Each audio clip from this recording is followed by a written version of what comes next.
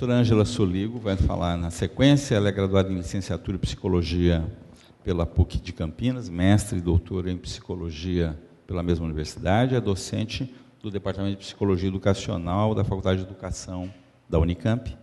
E ela também integra o grupo de pesquisa DIS, Diferenças e Subjetividades em Educação. Preside a ABEP, Associação Brasileira de Ensino e Psicologia. Bom, bom dia a todas e todos. É muito difícil pedir para falar 15 minutos, mas eu vou fazer um esforço grande. Uh, eu queria iniciar dizendo que toda vez que alguém que não me conhece uh, me vê pela primeira vez, uh, me olha com estranhamento. Porque as pessoas que não me conhecem leem o que eu escrevo, o que eu escrevo sobre a questão racial, tem certeza que eu sou negra. E a primeira reação das pessoas é: Nossa, mas é você? Né? Então, eu queria começar essa fala, e depois estranham por que uma psicóloga está estudando racismo. Esse é, o, esse é o segundo estranhamento. Mas eu queria começar a minha fala dizendo que o racismo, a questão racial, não é uma questão dos negros. Ou não deveria ser uma preocupação dos negros mas deveria ser uma preocupação de todos nós da sociedade brasileira. Uh, porque nós, aqueles que somos identificados como brancos, nos favorecemos do racismo e também nos limitamos por vivermos numa cultura racista. Uh, eu queria mencionar rapidamente que a discussão da questão racial e das cotas ela tem um pano de fundo, que são as desigualdades raciais e as desigualdades educacionais decorrentes dessas desigualdades raciais. São a ideologia da, democ eh, da democracia racial, merito, da meritocracia e o nosso racismo, que até o início do ano eu afirmava que era um racismo camuflado, agora ele não é mais camuflado, né? ele saiu do armário. Uh, queria dizer também, rapidamente, que, ao longo da história, os estudos vêm mostrando que a, o povo negro ele é excluído paulatinamente do sistema educativo e de forma mais intensa no ensino médio, mais radical na universidade. E queria dizer também que, se hoje nós estamos aqui discutindo cotas e ações afirmativas, é, não é por uma benevolência é, de alguns governos, é, mas é fruto dos movimentos sociais negros. Né? É, os movimentos negros são os atores que precisam ser é, enxergados, né? precisam ser reconhecidos nesse processo porque a pressão dos movimentos é, é a identificação das contradições da sociedade brasileira que leva, é, aos poucos, à adoção de políticas afirmativas. Só para recordar, as iniciativas é, relativas a cotas nas universidades públicas, elas já têm agora mais de 10 anos, as primeiras localizadas na Universidade do Rio de Janeiro e na UNB. Uh, na Unicamp, nós tivemos em 2005 a criação do PAIS, que não é um sistema de cotas, é um sistema de pontos. E aí eu queria lembrar uma, uma característica do PAIS que é muito importante. Uh, eu me lembro logo no, na época da criação, a gente discutiu muito, eu era da comissão de graduação, e uma explicação importante que a gente não pode esquecer é a de que foi feito um estudo grande na conversa sobre a diferença de pontos daqueles que ingressavam e daqueles que não ingressavam, principalmente nos cursos de grande procura, como medicina, por exemplo. Né? E o que se constatou é que a diferença entre os que entravam e os que não entravam era muito pequena e que um fator que se repetia estatisticamente significativo era o fator socioeconômico e, como decorrência, o fator racial. Então, o PAIS ele foi criado a partir entre outros fundamentos, a partir de um fundamento que vinha de um estudo muito preciso. Né? No entanto, o PAIS ele incide sobre a segunda fase. Portanto, a primeira fase continua sendo uma régua muito cruel. Bom, é, logo que os primeiros sistemas de ação afirmativa foram criados, é, eu tenho acompanhado as reações é, que são expressas tanto na cultura de maneira geral como, na própria academia. E as reações elas são reveladoras dos nossos preconceitos e dos nosso, do nosso racismo. Né? A mais leve delas, eu fiz um estudo em 2006,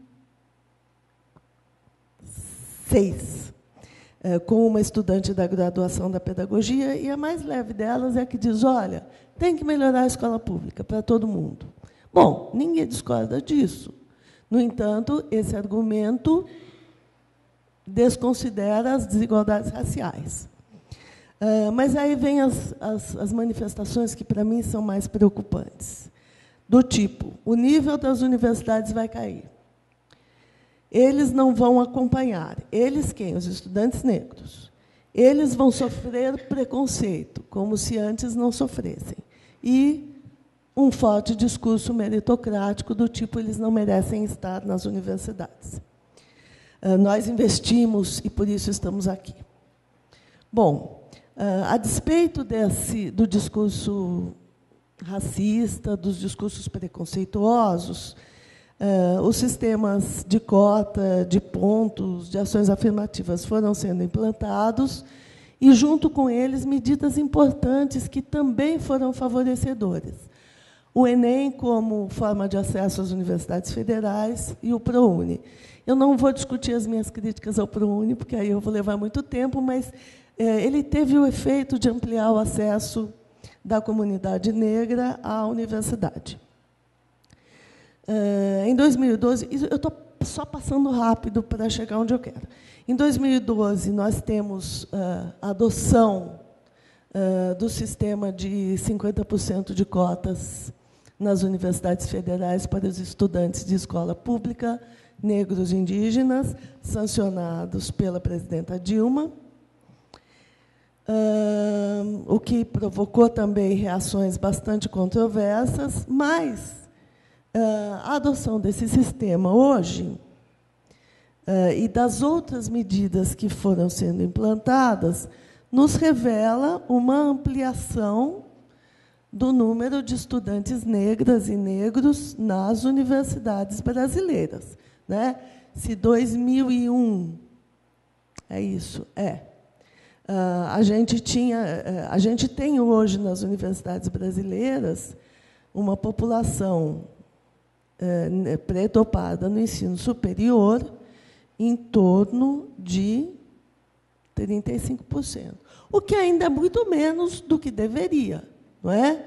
Mas é uma ampliação, tá certo? Bom, ah, com, com o ingresso dos estudantes da escola pública e negros e indígenas na universidade, começa muito forte a discussão da a, a questão da permanência, não é?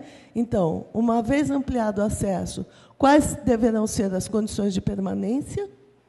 Então, o que é preciso implementar, ampliar para garantir a permanência de, dos estudantes da universidade e a questão do rendimento acadêmico é uma, é uma questão que vai ser discutida e a gente tem a possibilidade de desmontar o mito do baixo rendimento. Porque a, a, a crença no baixo rendimento se mostra um mito. Mito é ruim porque mito tem outro sentido nas africanidades.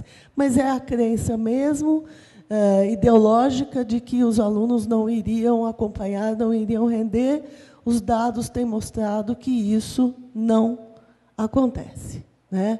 Que os alunos entram para a universidade e vão ter, sim, um rendimento acadêmico compatível com a universidade. Uh, a adoção do sistema de cotas uh, em 2012, no entanto, ela vai provocar novamente na sociedade um conjunto de reações negativas, extremamente negativas, Eu colecionei, no, na semana em que a presidenta sancionou a lei, eu, conhe, eu colecionei um conjunto de manifestações a respeito da notícia que apareceram nas redes sociais e algumas delas eu trouxe aqui porque elas repetem aquilo que já vinha sendo, sendo dito. Então, é um projeto para emburrecer o país, o bom e velho assistencialismo eleitoreiro, então a ideia de que cotas são uma concessão. O que mais que aparece aí? É, forma de, é uma, a melhor forma de jogar o mérito pessoal no lixo, tenho que procurar outro país para viver e por aí afora. Então, novamente, a gente vai se deparar com o velho preconceito sendo reposto, reproduzido, reativado. Além disso, estudando o que, que o que, que acontece com os estudantes quando entram na universidade, os estudantes cotistas, a gente vai se deparar com os obstáculos internos, com o que a gente conhece como racismo institucional. Eu orientei dois trabalhos aqui, depois que foi implantado o PAIS, é, eu orientei dois trabalhos de iniciação científica. Em um deles, nós fomos estudar é, como se dava a integração dos estudantes pais à universidade. Existe um, uma, um instrumento internacionalmente é, conhecido, desenvolvido, que é um questionário de vivências acadêmicas, e ele foi desenvolvido, inclusive, por pesquisadoras brasileiras aqui da Unicamp, em colaboração com Portugal e Espanha. E a gente trabalhou com esse questionário com os estudantes pais brancos e negros. E uma das coisas que a gente viu é que os estudantes negros têm menor, menos acesso às experiências de integração, como participar, participar de grupos de pesquisa, de representação uh, e outros elementos da integração acadêmica. Uh, no outro estudo, o primeiro estudo foi da Tamires Bonilha, o outro estudo que foi da Caroline Jango Feitosa, ela foi investigar preconceito mesmo, entrevistou professores, estudantes e se deparou com o velho preconceito, do tipo, uh, está sendo desconsiderada a questão do mérito, temos preocupação com o aproveitamento, com o rendimento e uma crença de que esses estudantes não teriam bom rendimento.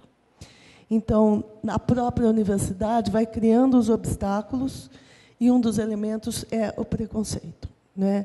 Nós temos relatos vários de estudantes daqui e de outras universidades, da USP, é, agora um relato recente do professor, relativo ao professor da Universidade do Espírito Santo, a respeito das suas crenças e dos seus preconceitos com relação a profissionais brancos e negros, aluna da USP que foi barrada, barrado seu acesso a, a certos ambientes porque é negra, aluna da pedagogia aqui que no primeira semana de aula uma aluna negra na van que atraria para a universidade, todos os alunos se cumprimentando, o que é que você faz, qual é o seu curso, o que, é que você vai estudar. Aí olharam para ela e disseram, em que unidade você trabalha? Então, essas são as experiências cotidianas é, com as quais nós nos deparamos. Então, eu creio, eu juro que eu vou encerrar, eu creio que para enfrentarmos a questão das cotas, isso vai além de simplesmente os aspectos formais com os quais temos lidado. Mas vai uh, e deve nos levar a pensar nos preconceitos que nós reproduzimos no dia a dia, institucionalmente, e que os quais toleramos. Né? Eu trago aqui uma, um último a última grande bomba, que é aquela banda da USP de Ribeirão, eu me dei o direito de não reproduzir a letra da música, porque ela é de uma vilania e de uma violência que não precisa ser reproduzida. Mas a letra da música dos estudantes de medicina da USP de Ribeirão, que desqualifica a todas as mulheres desqualifica de, de forma ainda mais cruel a mulher negra. Né? Esses estudantes serão médicos daqui a pouco. A resposta institucional é, que eu li até agora é dizer não sabíamos. A instituição lava as mãos. Né? E, ao lavar as mãos, tolera, aceita e, no seu silêncio, incentiva. Então, acho que nós temos vários desafios. Né? A superação do preconceito no interior das universidades. Temos o desafio de assumir institucionalmente a questão do racismo, por meio do ensino e da pesquisa. Não é só por meio da extensão. Não é? Por meio do ensino e da pesquisa. Uh, nós precisamos construir experiências formativas que possibilitem a reflexão. Não é? E nós precisamos assumir intransigentemente o direito dos povos negros e indígenas de estar na universidade e estar plenamente. É só.